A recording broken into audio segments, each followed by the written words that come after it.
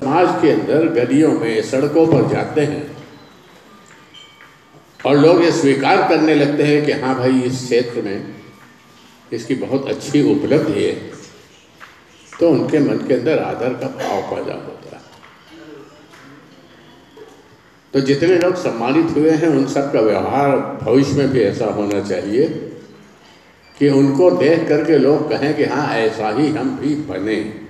से प्रयागराज सामने देखते हैं। के नाम से गौरवान्वित होने वाले आज कम से कम बहुत ही लोग हैं लेकिन उनमें कुछ प्रमुख लोगों को हमने आज गौरवान्वित करने का काम किया है। समाज में विभिन्न क्षेत्रों में शिक्षा के क्षेत्र में राजनीति के क्षेत्र में चिकित्सा के क्षेत्र में और अनेकों ऐसी विभूतियाँ रहीं और शिक्षा के साथ साथ जो जिन्होंने एक पढ़ाई जब बहुत ही दुख भरी से पढ़ा कठिनाई से पढ़ करके प्रोफेसर हुए डॉक्टर हुए और आज प्राचार्य हुए हैं ऐसे लोगों को भी मैंने सम्मानित करने का प्रयास किया।